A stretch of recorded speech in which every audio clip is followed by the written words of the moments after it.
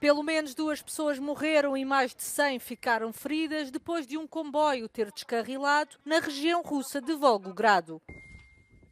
O comboio que transportava 800 passageiros viajava de Kazan para Adler, quando colidiu com um caminhão de carga que circulava nos carris, apesar do sinal de aproximação do comboio, de acordo com os caminhos de ferro russos. As autoridades abriram um inquérito criminal sobre a possível violação das regras de segurança do tráfego e do funcionamento do transporte ferroviário.